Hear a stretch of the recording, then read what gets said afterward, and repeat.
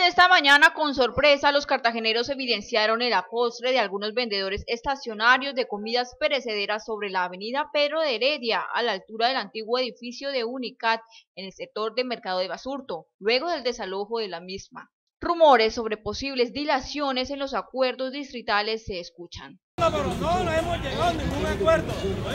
Sin embargo, el distrito asegura el proceso se lleva en total normalidad y legalidad. Desde la Secretaría del Interior y la Policía Nacional tenemos que garantizar el orden público en el mercado basurto. Se han dispuesto 430 eh, personas entre el ESMAD y, los verdes de la policía, los oficiales, para que atiendan eh, el control sobre la zona.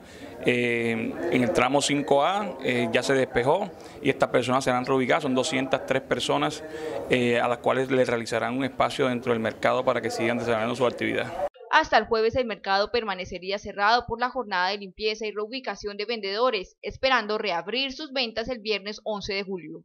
Nuevamente las actividades normales en donde ya deben estar estos eh, vendedores reubicados. Se sostiene por parte de la Administración Distrital y la Presidencia de los Vendedores, el acuerdo ha sido totalmente voluntario.